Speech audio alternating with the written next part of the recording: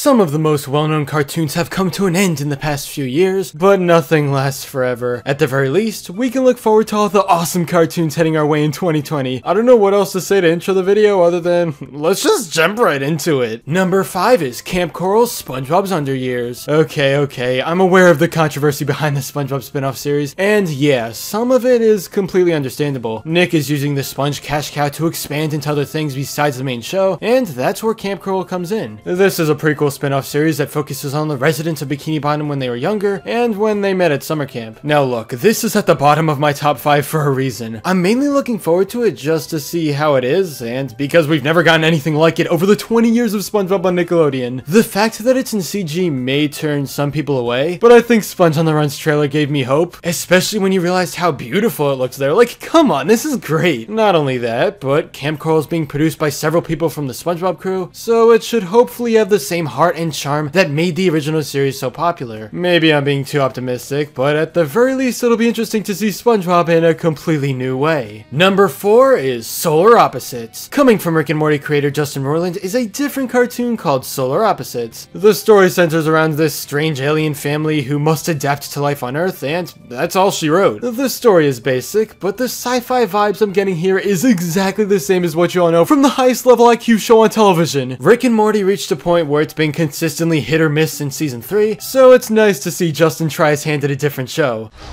magicians, black holes, gooblers, and the pupa. Look at the pupa. I told you to stop giving the pupa candy. He can't eat candy. It gets him sick.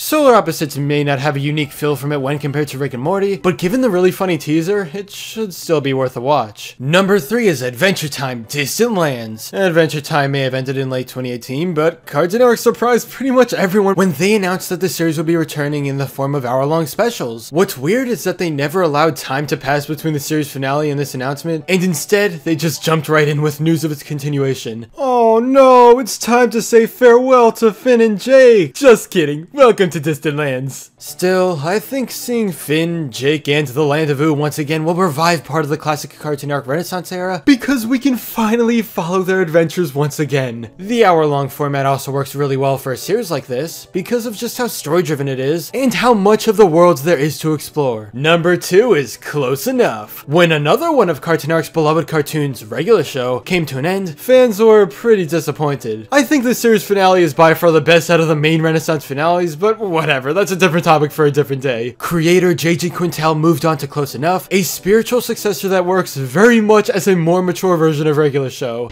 You just spelled with an E. Damn it! Ugh, cost seventy-five dollars.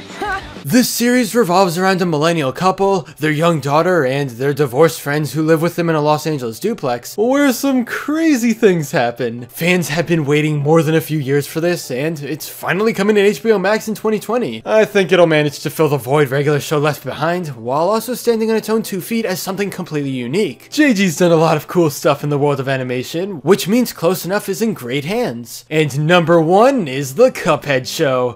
Technically this may come out in 2021, but I wanted to include it in the video anyway. Cuphead is going from video game to an animated series on Netflix, and it's honestly one of the most fitting things that could be turned into a cartoon. The game has always been a love letter to 1930s animation, and what better way to represent that than by becoming a cartoon itself? As of right now, we really don't have much information about the Cuphead show, other than that it's happening, but if it's anything like the iconic indie game, then we're about to be treated to some serious eye candy. Any and all animation from the game just feels super smooth in motion, and this is definitely one of the cartoons I'm looking forward to the most. But what are your thoughts of the upcoming cartoons of 2020, and which ones are you looking forward to that I didn't mention here? Let's talk in the comments. But anyway, that's all for this video. Subscribe for more awesome cartoon videos. Give a thumbs up and comment below let me know what you think. Thanks for watching, and I'll see you guys next time.